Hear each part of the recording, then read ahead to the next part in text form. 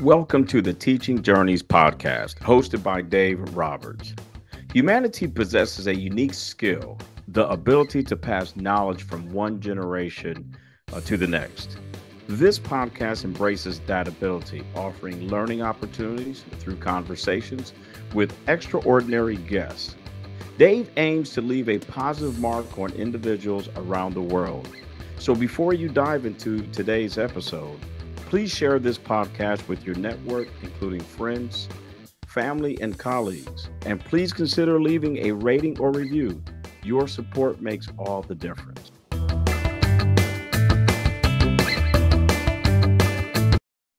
Hi, everyone, and welcome to another episode of the Teaching Journeys podcast. I'm your host, Dave Roberts, and today it is my pleasure to have as my guest Ashley Moody and Nick Aunkst. Ashley Moody received her bachelor's degree in medical technology from Upstate Medical Center and continued on to graduate from the New York Chiropractic College with her doctorate in chiropractic. During her clinical rotations, Ashley was hand selected from a group of her peers to serve as a student remote chiropractic clerk at the Rochester, New York VA hospital. She went on to finish her clinical rotations as the first ever selected chiropractic extern at the Pittsburgh, Pennsylvania VA. Dr. Moody enjoys being outdoors with friends and family. She enjoys various types of exercise, including yoga, hiking, strength training, CrossFit, and running.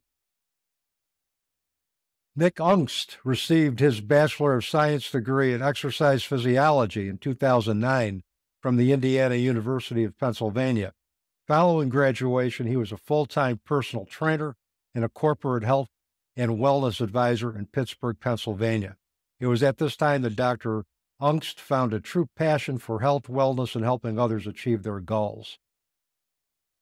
Dr. Aunkst is also the developer of the Check Yourself Mobility and Function seminar series, previously provided and instructed to, to sports teams and running groups.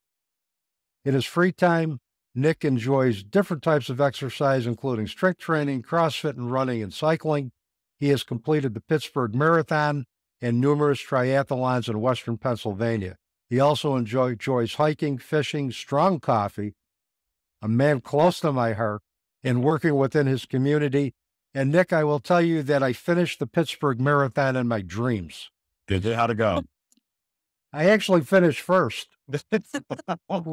which would tell you was a dream. You did well. Um, wow. And and uh, Ashley, I will tell you, I know you do a lot with yoga, and one of the first the first things that I told Nick when he asked me about my flexibility was I said basically I have the flexibility of a two by four. And he put that in my case, in my case notes.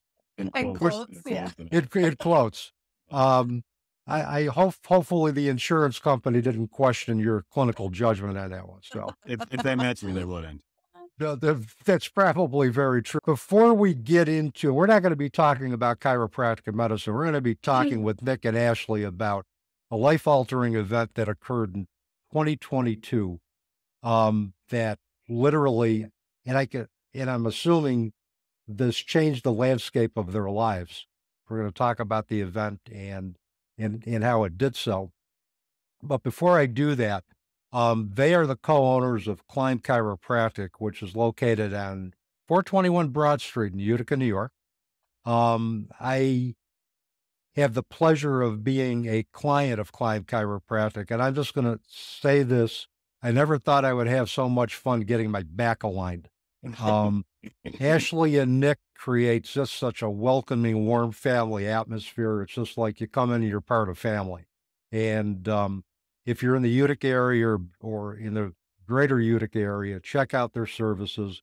They're great people. They're very competent. They're very skilled, and they create a really safe family-like atmosphere for anybody that uh, has the privilege of crossing paths with them. So I just wanted to say that before we get into the uh, get into the uh, crux of our conversation. Thank, Thank you, Dave. You. We appreciate, it so much. And we, like I always say, we enjoy having you as much as we break your chops. We like having you around. He's just trying to get that espresso bar. Uh-huh. hey, I'd be happy with the back seats. it, it may be a Mr. Coffee machine. How's that?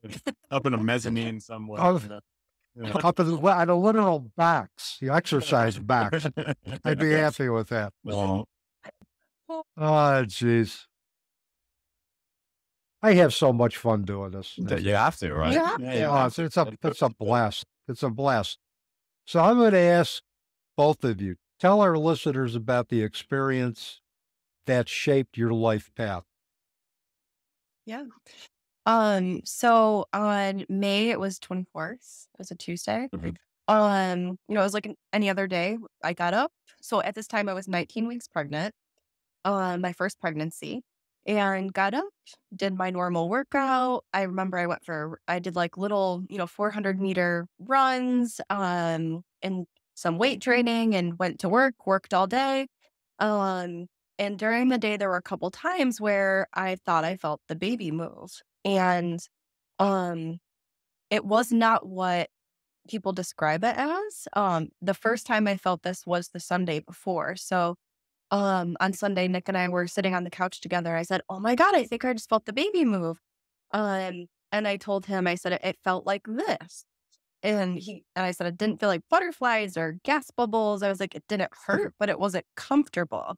Um and then I remember feeling it once on Monday and then I remember feeling it I think one or two times on Tuesday while I was at work. Um, no pain, no issues, nothing like that. Um, we got home, we ate dinner, and after dinner, a little while, we're getting into bed, and I said, I don't feel very good. Like my stomach's kind of feels a little off. Like I think I'm going to be sick. I wonder if, you know, maybe our burgers weren't, you know, great.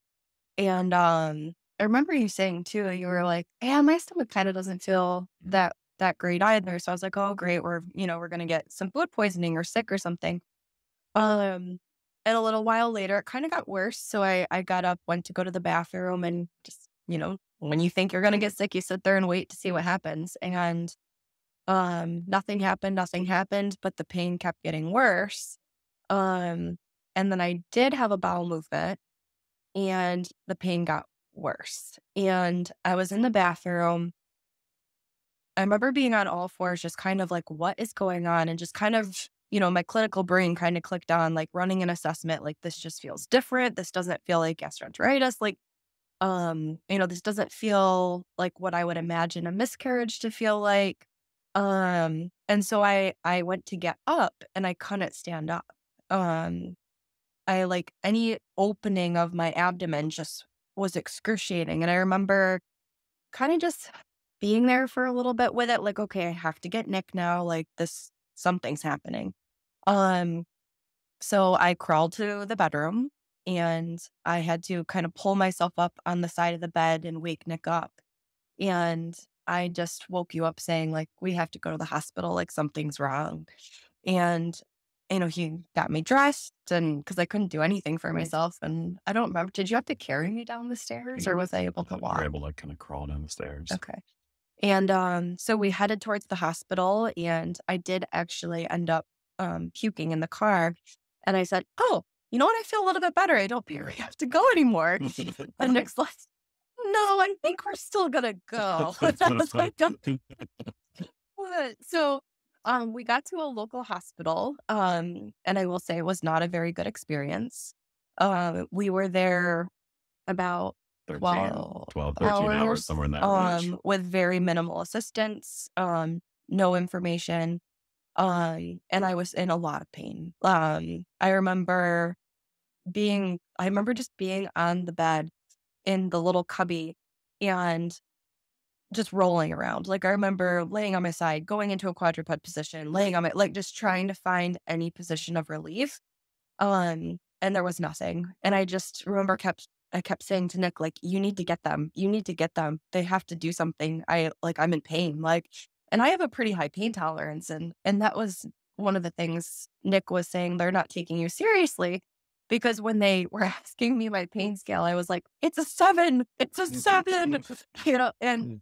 but to me, it was a seven because everyone has a different pain scale. Like eight would be like, I can't move. Nine is I can no longer talk. 10 is I'm literally dying. So it's, um, mm-hmm uh, they ended up doing an MRI and they came in around 7 a.m. and they said, you know, what it, it looks like your colon is flipped, but because we can't do a CT because you're pregnant, it's not a great image. Um, and fortunately, I was pregnant, so they sent me out. Um, and they referred me to Albany Medical. And when I got to Albany, which the transfer to Albany was awful. Um, at this point in time, every single bump, like so if you're looking at a road and you see just that little thin line, that seam, every bump was just an excruciating pain in my abdomen. Um, and we finally got to Albany and they they wheeled me into the ER there and I mean we were swarmed with doctors. Um and you know at that point in time we had no answers.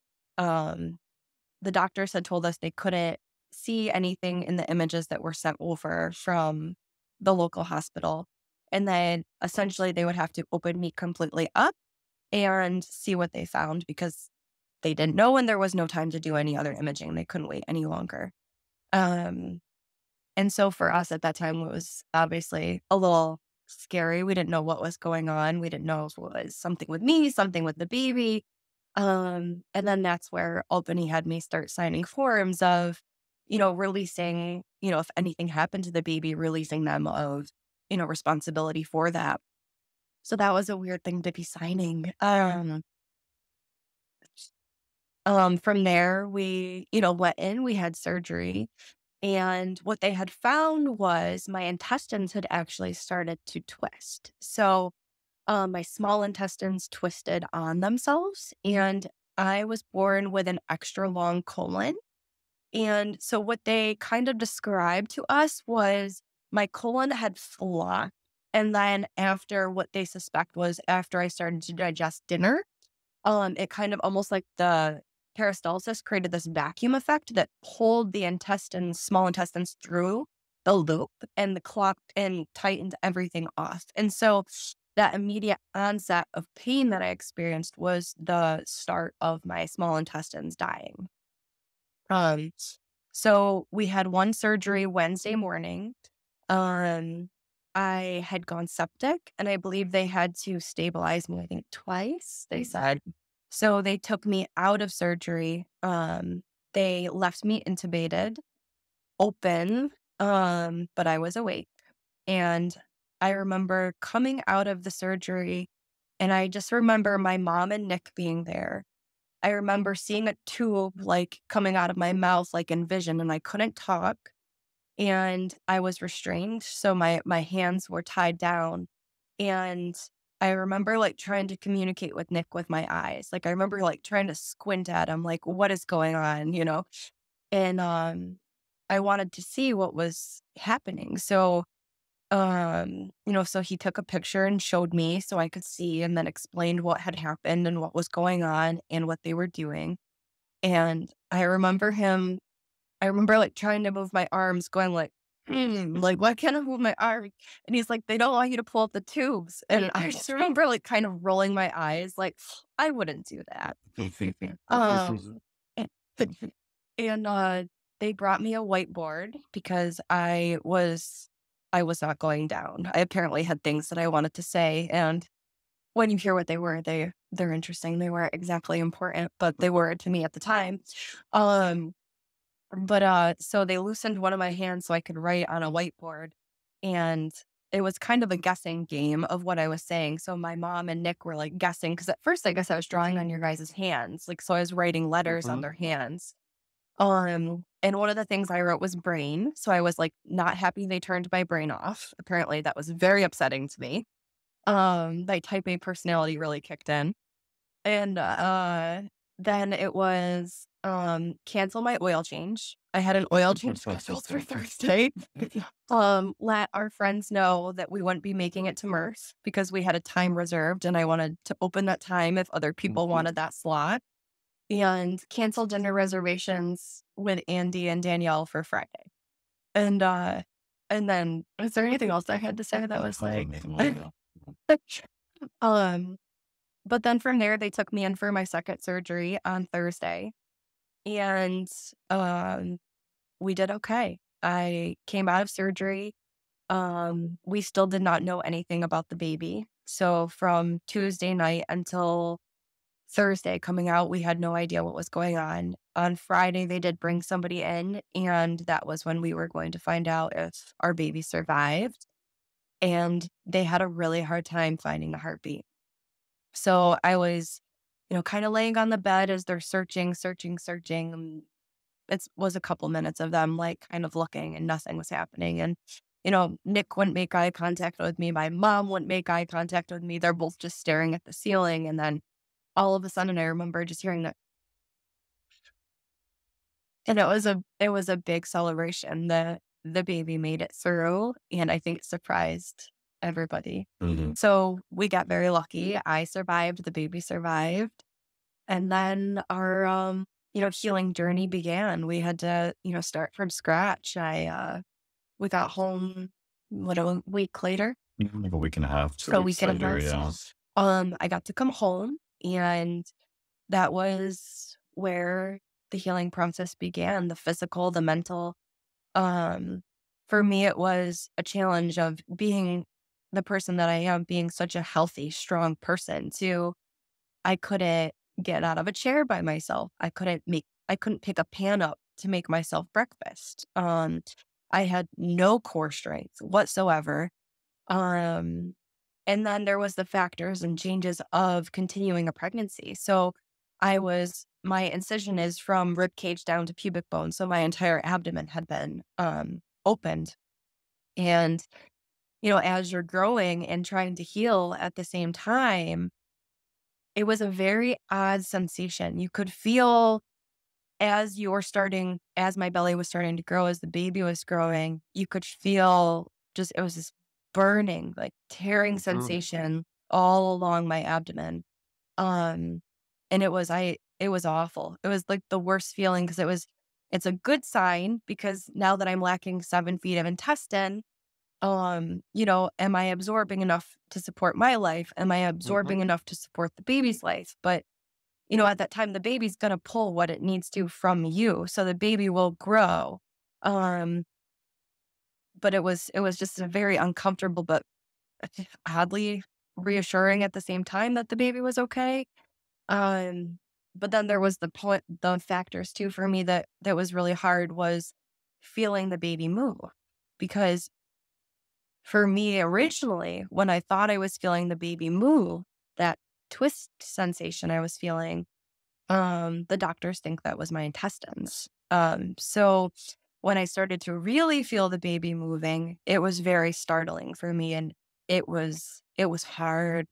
Um there was a lot of a lot of tears of fear. Um and just having to be okay with crying and like and knowing like okay just breathe it's not the same feeling like you can really feel the baby moving they they told you it won't happen again like everything's okay. So it was a lot of self-talk um but we you know we we did it. I gained weight through the the rest of my pregnancy. I started to gain muscle mass through the rest of my pregnancy um and you know but that was my focus was getting healthy and getting strong again because Mm. in my mind i wasn't done. Like we still had to get we had 21 weeks where we had to finish this pregnancy and deliver and get both of us safely through delivery. I personally was determined to not have a cesarean because i did not want another abdominal surgery. And birth was a whole nother thing but we got very lucky. In the end you know there were a few hiccups um in our delivery story but we you know we were fortunate and i did have a vaginal delivery. And our son is here. His name is charlie. And he's fantastic and he's healthy and he's strong and he's brilliant and he does not seem affected by his journey into the world at all which is incredible um and that's our that's our life altering story That's quite a life altering story. You could see, you know, after the surgery, when you felt him move, that had a whole different meaning based on past experience. And, Mhm. you know, that's one of the things is from my observation, when something like that happens, the safety net is now forever forever altered. Uh, Yeah. There's no guarantee. Yeah. Mhm. I, I, I, I've got to ask you, Nick, from watching her Ashley go through this, what were your thoughts and feelings as you were witnessing Ashley's health challenges with with Charlie? Yeah. Um, you know, it's a really interesting to look back on and evaluate it now, you know, because I know at the point in time there was just a lot of shock and stress. And um I remember being oddly composed. I remember like being being okay, like we're gonna take this step next and this step next until I wasn't, you know, and, and it, it was uh, you know, handle the situation, handle the thing in front of you. Um and then the evaluation and reflection afterwards is completely different. You know, I know that when I was sitting in the waiting room, so this was during her first operation, um, sitting Albany Medical Center, I've been sitting in the waiting room for probably two, two and a half hours, and we still didn't really have any answers or or anything yet on what was even happening outside of an intestinal pathology going on. I had the chance to reflect a little bit and I, I had thought back to just the day prior and um, just how fast things change and how they can change. And we had went to bed that night and all happened. We went to bed around 9.30 like we normally do. Um, and I remember waking up and hearing her screaming, uh, something is wrong, get out of bed at exactly 1014. I remember the exact time because I shot out of bed and the first thing I saw beside my head was the clock. So in 44 minutes roughly, you know, life changed that fast. So, and then trying to, you know, understand what the doctors are saying. I was very fortunate for our training at this point in time too, because the surgeon, to his credit, um, he was incredible. His communication with us was incredible on what was actually happening, what they had to do, what they thought the possible outcomes would be, and they gave me a, a range of outcomes from the, you know, the most catastrophic being the obvious that we would lose both of them to the the best case scenario, they would make it out. They assumed that she would have way more complications coming out of the operation than she did. Uh, I'll never forget the image that she talked about of, you know, running into the the ICU room in between the two operations and, and finding her laying on the bed. Uh, just, you know, and then saw it open, Dave, from the sternum to the pubic bone, probably a 12 to 14 inch incision and just gauze and iodine and intestinal matter and tubes coming out of every orifice you could possibly find. And that's when it really hit home to me like, wow, this changed so fast from where we were yesterday, just a brief 24 hours ago. So it was a lot of shock. And it was, um, you know, I, uh, they had a little waiting room screen in the Albany Medical Center hospital room in the surgical center that would just say where the the patient was at in their surgical operation, and everyone had a number assigned to them, and it would just uh, green if they were in operation, red if they were out of operation. So I just stared at the screen for three hours and just waited till it turned red. no, uh, you know that was really about where I was at that point in time. Um, luckily for me, at that point in time, her parents had had met us in Albany and, and joined me at least, so I wasn't sitting there alone any longer. But it was, you know, obviously stressful. When you had the call too when you Yeah, yeah. So yeah, I guess that's a good point. So the we had so like like she had talked about that night, we spent the whole night in the hospital in Utica, and then we ended up in Albany. And once they took her in for surgery, um, I was sitting beside her dad, and you know we hadn't slept all night or anything like that, and she just went in and he said, you know, let's go upstairs to the cafeteria. Well, let's get some coffee and a sandwich or something like that. You haven't eaten anything in, you know, 14, 15 hours. You haven't drank any water. I'm still in my pajamas at that point in time, mind you. so we go upstairs and we're in the hospital cafeteria line. And I was, I had a cup of coffee in my hand and we are getting a sandwich around. And all of a sudden my cell phone rings and, uh, it was Albany number. So I looked down, uh, Albany, and this is probably important, pick it up. And, uh, there's a woman on the other line and she says, hi, is this Nick? And I said, yeah, she goes, hold please. And then the line goes completely blank for 20 seconds and her dad's sitting there staring at me and I'm on the phone and uh, all of a sudden the, the surgeon picks up on the other line of the phone. He says, hi, Nick. And I said, yes. And he says, uh, hi, this is Dr. Nigam. I'm, I'm, I'm doing surgery on your wife right now is how he introduced himself. And I said, I'm well aware of who you are, sir. Yep. um, he goes on to explain the pathology and um, gave me the options right then and there and said basically what they were going to have to do was they were going to have to take one end of her small intestine, cut it here, take the other end, cut it here, remove roughly seven feet of small intestinal matter that had died, Um, and they knew that she was going to go into sepsis, and that was a, a, chance they were willing to take and be prepared for. Um, that was not a good option for the baby. But at that point in time, on the phone, he expressed to me that we're no longer going to be monitoring the baby. We're simply trying to save your life at this point in time. So he said, I'm going to do what I got to do.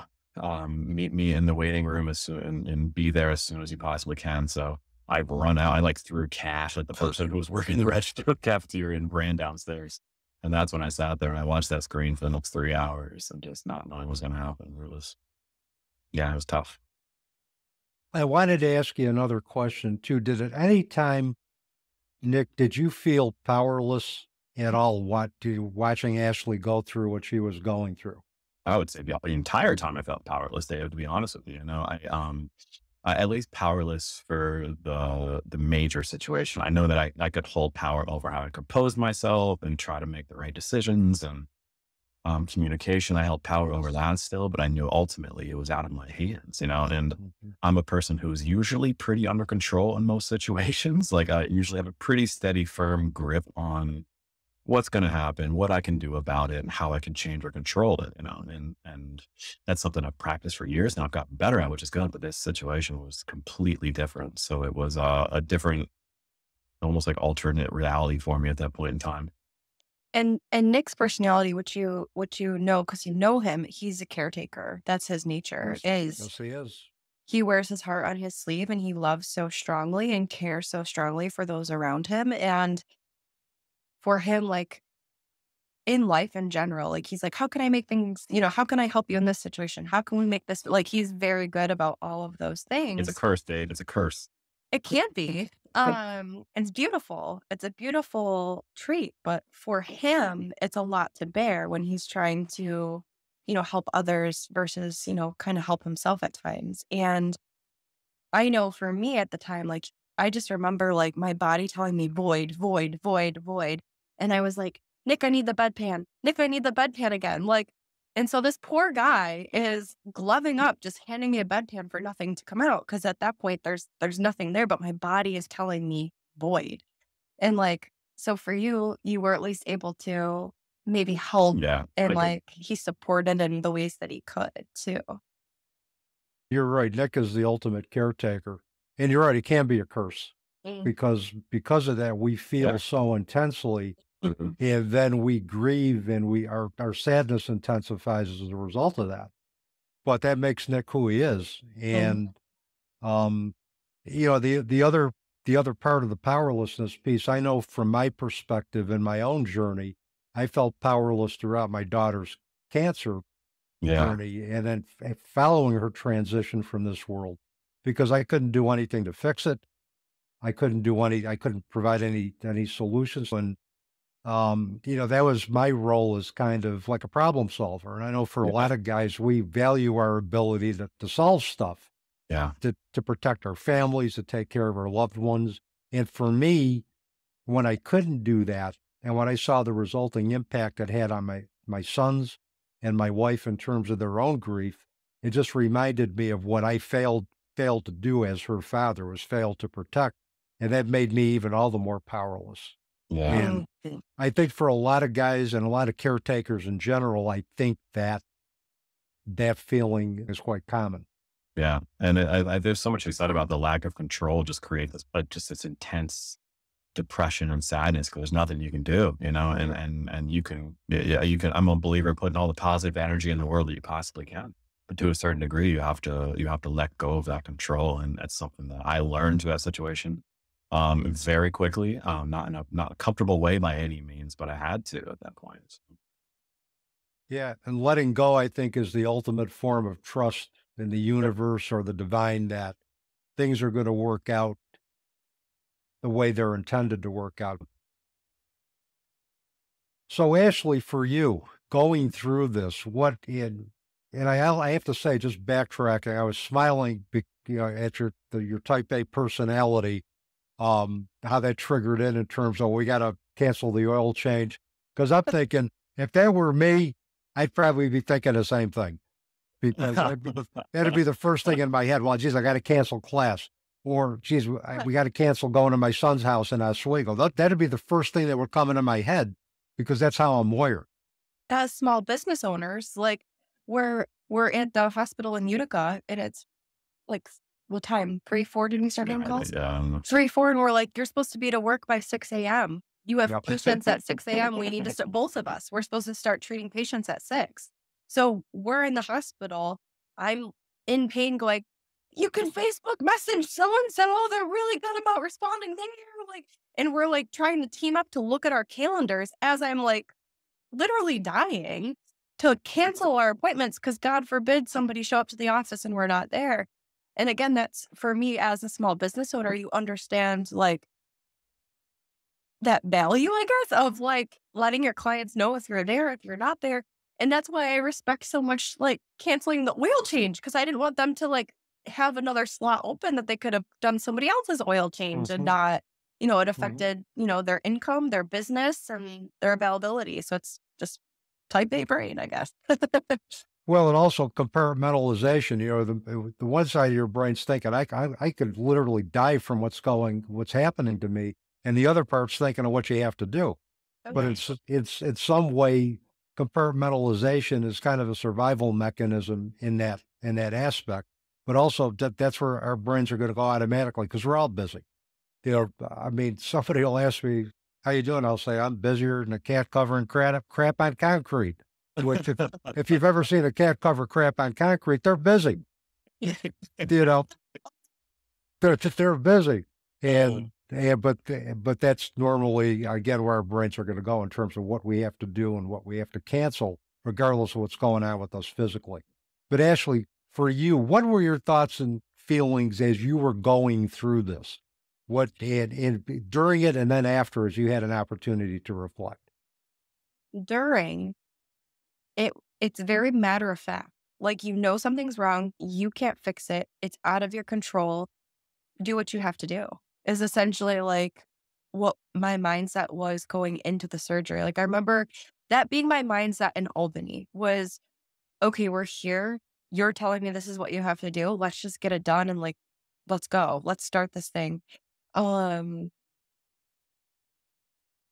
post post surgery, post knowing, you know, we were all okay, for me, it was very much just focused on I'm not done. Like, uh, like to me, I still, I'd hit a plateau in the journey of the pregnancy and I had that next hill to climb. So for me, because I, I had somebody say this to me once was, um, how did you not just stop and just give up? And I, I was really confused by that that mindset and that thought and that question because in my mind that's just not how I operate. There's never a this happened to me and now I'm going to crumble. It's this happened to me and what am I going to do to rebuild? Um and so that was my mindset is okay, I have a 5 pound weight limit. I have 2.5 pound plates in the garage. Those are what I'm going to use. And I would be out there just curling and pressing, curling and pressing, doing external shoulder rotation, like doing what I could and meeting myself where I was versus comparing myself and being like, oh, you know, last week I could do a, a, a, a 190 pound deadlift or, you know, whatever it was. And it was, it was more just focus on moving forward. That happened. I'll deal with it because I wasn't ready to deal with it. I wasn't emotionally ready to review it, emotionally ready to deal with the PTSD of it all. Um, because again, my mind, I wasn't done. So I thought after I have the baby, I'll revisit all my feelings, I'll revisit all of the stuffs and deal with it then. Right now, I just have to focus on getting healthy and getting strong. And, you know, postpartum, I did not have as much time as I thought I was going to because now I'm a mom. And, you know, I we were blessed with a child that didn't sleep. so, you know, and, and I chose to nurse. So I would be up nursing him 10 times a night. Um, and he did not sleep during the day. So all day long, all night long, I was up with him and I was exhausted and my brain could not process anything. Um, so I eventually did decide to get help with that. And I worked with um, a therapist who was fantastic. And we did some EMDR therapy. And that was incredibly helpful in helping me move forward and process and not have the the emotional fear and response to thoughts and images that I had prior. Like for me, the the image I descri- that Nick and I have described of how Nick found me after my first surgery, I do still have that picture. And you know, there were times I was like scrolling through my phone looking for something and that picture would pop up and I would just break down and cry. And it was it's hard to see yourself in that extreme state of, you know, you're so vulnerable here. You're not in control. Um, you're the weakest you've ever been. You literally have tubes everywhere, you're cut open. And then there's that emotional response for me too, because I also have empath tendencies of this is how my husband and my mom found me. They didn't know that I was going to look like this. I wasn't covered with a sheet to make it soft for them. Um, and so I would cry for myself when I saw it, but I would also cry for them. Um, and so for me, working through even just how I looked at that girl, looked at me in that picture, um, and changed the narrative through EMDR of, you know, what the outcome was and, you know, how strong this girl was and how capable she is and how powerful her body was to be able to save her and her baby. Um, that's that's helped me come forward and you know having that ability to kind of flip the brain that way it helps continue mm. to go over the obstacles versus let them stop you in your tracks well i think particularly for the both of you the emphasis that you place on mind body health i think had to be an asset to you during the most challenging times of both of your lives. If you were not in the the best, the great best physical shape that you were and put a mm. premium on that, but also put a premium on that mind body connection, we may not be having this conversation.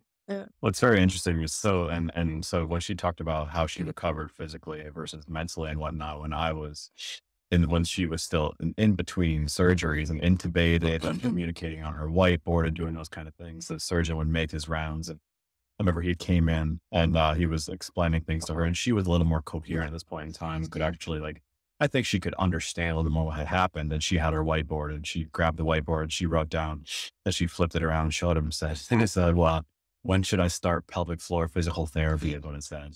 And uh, you know, we didn't even know if she was going to make it or the baby's going to make it or anything like that yet. And the surgeon kind of looked at me and he smiled a little bit. He goes, let's just pump our brakes for a second here. We'll get to that in a couple hours, probably. You know, so her mind was already laser focused on like the physical outcome of it and how she was going to be able to maintain her strength and and uh you know i've uh, it's it's interesting i've actually had the chance to talk about this publicly many times since this has happened and i've i you know dave you and i have talked about this personally i've mm-hmm. talked to a lot of people personally about this and told the whole story a thousand times this is her first chance really telling it too, you know? So like just, just this experience for her right now to be able to tell the story is very unique. It's very, um, you know, it's, it's, it's a good step in the right direction. Cause I think that healing journey happens forever. Cause I know every time I've told this story, it's meant something different to me. Um, and the repetition and, and I've gotten more, you know, uh, okay with it and all of that kind of stuff. So being able to, to just describe the, the emotions and the trauma and just say what you were feeling it's important. And, and it's, it's, we talked about controlling outcomes a little bit ago, you know, and one thing I think Ashley discredits is how strong she truly is. And, and I mean, specifically physically, um, what she does with her practice is she teaches postpartum and prenatal core rehabilitation exercises. So she literally is, is a professional core strengthener, for lack of better words, mm-hmm. you know. And in between surgeries, the surgeon and I sat there and we had we had many long discussions and conversations. And he he looked at me and goes, what does that girl do in the gym? And I, I explained what she does for her work and whatnot. And he goes, her core is so thick. And he made, and he talked about like the actually sawing through the layers of abdominal mm-hmm. musculature and how that actually controlled the outcome proactively, you know? So, uh, mm-hmm. I've found so much like at that moment in time, like ruminating on that, like like it was almost this like divine intervention thing that she had been training in this mechanism for so long and getting so strong and whatnot. And that prophylactically is what got her through this theoretically, you know, or at least was a huge component of her outcomes. It's amazing, man. So I think that even when we talk about controlling outcomes there, in a, in a time where there feels like a lack of control, well, it's all the work you put in 10 years prior, you know, so it's really just incredible. We're, we're not able to control our futures in, in some regards. Um, where, you know, I, I didn't know that this was going to happen. Um, but we all are going to age and we all are going to, you know, have different things that we face throughout our life. And the best case scenario is to go into your life with strength and being physically and mentally strong. Because, you know, for me, I lost, I went into this very, very strong physically. Um, and I had taken a shift in my in my style of training when we decided we were going to no longer prevent a pregnancy from happening. And, you know, I, I stopped, you know, doing CrossFit in such intensity and I focused mostly on core and strength and pelvic stability and, um, you know, all of that. Again, like Nick kind of said, that, that, that saved me. But I lost 14 pounds in 10 days. Um, so if I didn't have that muscle mass for my body to pull from, again, the outcome and my current health could be very, very different. Um, you know, in the hospital, I was able to reposition myself. I could still lift myself into a bridge. I could pull up on the bed to, you know, pull myself to reposition myself where, you know, once I was strong enough where I was able to, you know, do short walks in the hallway, you know, getting I think two doors down was like where I started before, you know, and you'd get a couple each day a little bit further. But you look as you're walking and you see the other people on the floors and you see the different age ranges and you see the different physical outcomes of whatever happened to them. And some of the positions you would see people laying in, it was it was just heartbreaking because you're like, they need help. Like they're not comfortable. They're like, and I was a capable person and I couldn't do things for myself. And, you know, it was Memorial weekend when we were in the hospital originally. And, you know, the, the once I had left ICU, I went onto the floor, main floor, and, you know, they were very short staffed. Like nobody could come when you needed them if you like had to go to the bathroom or, you know, if you needed to be repositioned. And, um, being strong enough to do that for myself helped me. And so I've always been an advocate for strength. And after this experience, it's just magnified. You, I can't tell people enough to focus on their health and strength because you're responsible for yourself and you need to be the one to make yourself uncomfortable and lift the weights and walk away from, you know, the Oreos or whatever you know, you're you're uh, um, pulled towards, and it's okay to make those hard decisions, and you're not going to always be comfortable, but you have to know that in the end, you're doing the right thing for your body and your mind. And those are all great points, great observations. The other thing that I heard from talking about your experiences that you, your innate will to survive kicked in almost immediately. And I was kidding you. I was kidding you earlier about you know, about the type A personality piece, how we would align with that in terms of thinking about the task oriented stuff we would need to cancel. But in the same time, for me, that's your brain going into survival mode. It's saying, look, I'm not ready to check out of this existence yet. I want to continue to live. And if that mm-hmm. means thinking of the things I got to do and got to cancel, that's going to get me in survival mode. That's going to put me in that survival mode. And I tell individuals who have I, who have gone through catastrophic loss or life altering challenges, don't underestimate your innate will, innate ability to want to survive because that's going to get you to begin to thrive, re engage in life, re engage in life with purpose, and learn that, you know, life shouldn't be taken for granted. We're only guaranteed the day that we have in front of us. Mm-hmm. Absolutely. Yeah. So, for both of you. Yeah. Um, no, I go ahead. No, I, I'm I'm good. I'm the, the floor is yours. Well, I was going to say, just speaking to that for, for like, you know, um, to the control aspect of things. I, it, Dave, I've told you this before too, but like, I don't know anybody who takes their health as seriously as Ashley does, you know, and that's from every component. And and we laughed about this when I told Davis the first time, just a just a couple days prior to all this happening. I remember we were doing something, we were at her parents' house and somebody had a can of just seltzer water, like just from the grocery store. And um, uh, someone offered Ashley one, and she she declined the seltzer water. And I said, "Why?" Just the, just curiosity. And she said, "Because the can doesn't say it's BPA free." And um, I, I, I don't there, even remember. And I thought to myself, I didn't even know cans had BPA in them, you know. And she went on to show me the can, how it doesn't say BPA free, and how whatever, you know. And then uh, I thought about. I was on a very big BPA kick because I was pregnant, and I read Emily Nichols. Um, what is it? Uh, Expecting better. No, not that one. Mm. The nutrition one. Um, real nutrition for pregnancy. Um, and it was very anti, you know, certain things. I was like, oh, I cannot punch the receipts at the office anymore, Nick. Those have BPA. So, so then I'm sitting there in the hospital and I thought about that because I thought about the fact that this is the girl that turned down the canned water because there's BPA in it. She's that healthy. And here she almost acutely died in a stretch of 44 minutes. I was trying to protect the baby. Unreal. and, and that's why she's the true CEO of Clive Chiropractic. Exactly. Because of those things. Uh-huh. That's why she has a 51% majority of stock. you know what I mean? I had and, two seltzer waters that day, David. That's right. hey, just remember, if you're, you're drinking non-BPA seltzer water, she could buy you out in a heartbeat. That's really funny well, well, Nick keep, Nick keeps me around for my sense of humor. It's not for any, yeah, any other reason. So, but, yeah. Um, God, this has been a fun conversation so far. Uh-huh. I mean, really enlightening. But we're getting close to our time, so I want to ask you a couple of other questions. You've given us some great takeaways from your journey, but if there's a one or two more additional takeaways you want to leave our, our audience with as a result of your experience, what would that be that can help them navigate through their own life challenges? You go first.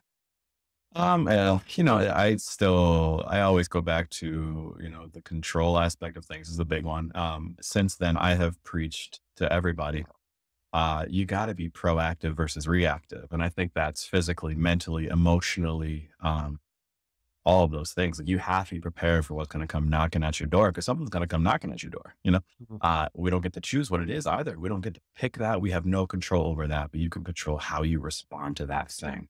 And that thing could be disease, it could be trauma, it could be anything physically, mentally, financially, all that stuff. You know, the, there's so much to be said about how we have changed in a world away from proactivity. We, we, we react to everything. We re- react vehemently, and usually our reactions are, are angry. But if we were more proactive and prepared prior, that would probably be a different reaction because we would have some sort of sense of control then on the back end of it. So I, I, I preach that to every single person I talk to at the office or any of my remote clients or anybody I work with that you have to get yourself ready because you don't know. You don't you don't know what life is going to bring you so the preparation is important. Uh i mean it's cliche it's cheesy but love your loved ones you know? You have to like really you don't know if when your loved ones are going to be here when they're not going to be here. In one instance i was uh, expecting father with a beautiful 19 week pregnant wife uh, you know, and and uh, and a business that was thriving and and doing well and happy and healthy. And 44 minutes later, I was almost a widower who was not going to be a father any longer and was taken away from everything that I thought my life was going to be and all that kind of stuff. So don't take it for granted because it's easy to. And I know I did. I know I definitely took it for granted. I focused on the wrong things. I worked too hard. I, uh, you know, stressed too much probably. And, and, you know, you have to really, really understand what's important to you. When we were talking about that privately, I went back to my own journey of loss and, and I, I could, I could resonate with that mm-hmm. because life can turn on a dime. And I also felt, was thinking how grateful I was that you guys didn't have the same outcome, that you had lost yeah. Ashley or had lost Charlie. Um, I was just so glad because, I mean, for me, you're two of the greatest people on the planet, and for and and for for things to have turned out the way they they turned out, it's just Hey, Ashley's got a, you and Ashley got a lot more work to do, and that son of yours has got a mission in this life that is going to be impactful. And what you guys are con- going to continue to do is going to be impactful. So that's why I've always loved what you do with something like this, because now actually we can step back and now we have a chance to teach these things, you know, um, by going through. If we never went through this, we couldn't teach about this. You know, we couldn't teach about how to respond for things and everything we just spoke on there about how to treat your loved ones and everything, because I would probably still be taking things for granted. So there is never, I will never describe a situation as a good thing by any means. It doesn't mean you can't pull good from good outcomes from bad things, you know, so you can pull good from it and learn from it and take that into the world. Uh, but I think it's made me a more well-rounded person and I've been able to,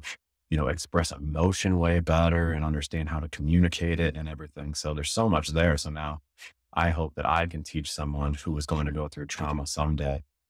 Get ready for it now because it's it's going to happen, and you have to be able to hold yourself accountable during that point in time, and that comes with practice, just like anything else. Hmm. Exactly. Ashley, what about you? Is there anything you want to add to what Nick said? I mean, everything he said, I completely agree with, and it's what I would have said as well, just worded differently. Um, I, the big part is, I think a lot of people don't say what they want to say to the people around them. Um, I think we think it, but we don't say it. And yes, we all know that family, that friends, that we love each other, but I think it's not said enough. And so I find myself more expressive about those types of things where, you know, I'll send like a group chat to like my whole family, like, you know, saying, Hey, everybody, like, I love you. I'm thinking of you today. Like, and it, you don't even have to have a reason why, but sometimes it does help to have a reason why. Mm-hmm. Um, you know, so just express yourself more and even, you know, even with your spouse, like, yes, you love each other, but there is that day to day grind. And I think sometimes as you're walking by your spouse, do you put your hand on their shoulder just, you know, just to have physical touch as you're walking by? Do you stop to take 10 seconds out of your day to give them a hug? Do you, you know, it's not going to slow you down. You will still get your tasks done. But I think that it's really, really, really important to slow down and really love the people that are in your life because you don't know what's going to happen tomorrow or later today. You know, so express your love, express your gratitude and show it. You know, give hugs, give kisses, high fives, whatever you want to do. Um I think that that's really important. I think from a mental standpoint, I think how Nick kind of talked about um, this popped in my head, so this is going to be kind of broken because I can't remember what you said that triggered this thought, but it was a um is you know if you are feeling resistance to something happening in your life, sometimes it helps to pause and break that down. Um, you know, are you having conflict with somebody?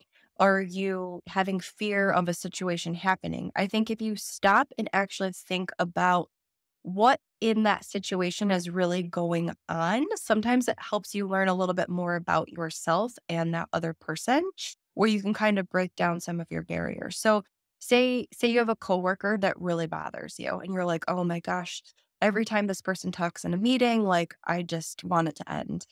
pause and ask yourself why. Why why does that person talking bother you so much? And maybe it's they have a characteristic trait that you have but don't let yourself express. Um, you know, so there's there's different things where if you really pause, break things down, think things through, you can help learn a little bit about yourself and then from there you can kind of break through and become a little lighter. Um, and then maybe i'll be able to express gratitude towards that coworker. Um, I think that's kind of a little bit of a ramble there for you, Dave, but that's where my brain went. It's not a ramble at all because I think Nick and I have talked about this in terms of even the people in our lives that we deem as the least desirable people we want in our lives have something to teach us if we allow yeah. them to do that. Yeah. And in that way, their teachings to us become a gift to us because it awakens Very yeah, it awakens parts of ourselves that we were once dormant that we weren't aware of. And once we were aware of those parts and we could integrate those parts into who we are, we become more genuine and whole. So I think everything is in service to us. Well said, Dave. Very well said. Thank you. Um, and this is giving you an opportunity to do a little self promotion. How people want to find find you, find out more about your services, get in touch with you. What's the best way to do that? Um, we have our Instagram. So my business Instagram is at seven feet stronger. Um, we have our climb Chiro Utica on Instagram as well. Um, I know I'm personally best with email. but so you can feel free to link my email in there, but it's a moody at climbchirosportshealth.com. But there's our website as well. Yeah.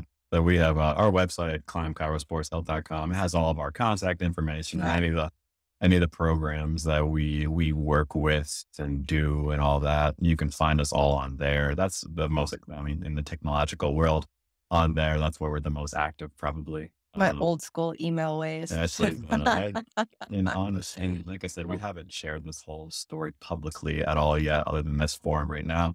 Um, Ashley's Instagram account is active in her recovery a little bit though. So there is some, you know, some of the pictures from and, and the videos of her trying to walk the hospital are active on there. So at her seven feet stronger Instagram, you can find it's the number seven. Uh, we created that line for her because the seven feet of intestines that she lost and how she became stronger because of that. So it's kind of a fun little play on words, but there's been some of the journey shared there too. I think that's a great way to honor that honor your journey, both of your journeys. And for me, I really appreciate the trust to allow me allow me the space to create for you guys to share your story. That means a lot to me. Um, I, I, am always inspired by everybody's stories. They're a gift to me. They mm-hmm. continue to inspire me. And I, I figure if somebody is entrusting me with their story, they feel safe enough and they deem me as trustworthy enough to honor it the way it should be honored. So I appreciate both of you taking the time out of your day um, yeah, to do that with me. And this is a big step in what we just talked about with teaching too, about how this is the, you know, be the first public actually time telling the story. is going to teach someone hopefully. So giving us the platform to do that on Dave, we're really appreciative of. So thank you. And you can have this platform anytime you want. You careful what you wish for. Uh, he wants to start a podcast. So get ready. you might cool. have a host soon. that that sounds good to me. that sounds good to me. Day. Yeah, there we go. We'll, we'll we'll we'll bust the internet with that one. Nick. Yeah, all right. With that, Nick, Nick and Ashley, it has just been a great experience. Thank you so much for today. Thank you, Dave. You. We appreciate, it so much. It. Thank you. My pleasure.